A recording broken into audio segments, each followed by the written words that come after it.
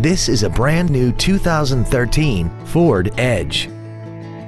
This crossover has an automatic transmission and a V6.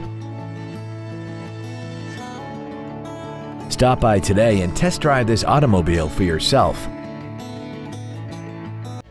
South Bay Ford is your Hawthorne area Ford dealership, specializing in new and pre-owned vehicles, service, and parts. Stop by our showroom at 5100 West Rosecrans Avenue in Hawthorne or visit us online at southbayford.com.